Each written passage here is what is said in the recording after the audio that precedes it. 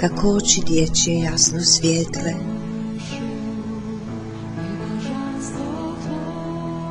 i poruči im gospodin da djeca postanu u kraljestvu njegovu za vječnost da ostanu. I kao dijete što za mlijekom žudi, i ti dušo nahranjena ovim duhom budi, po njemu da rasteš,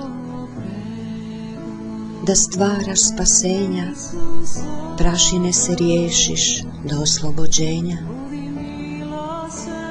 grubosti života i rane i pad, milosrdni Isus opratit će tad. Po pregorkoj muci, po tijelu i krvi, izbavljenju tvome pohitit će prvi.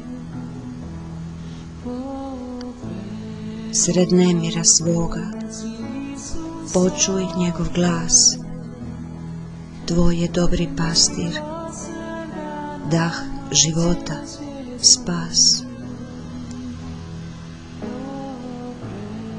I sveg te okupa, voda, milost sveta, prepusti se Bogu, rasti do djeteta.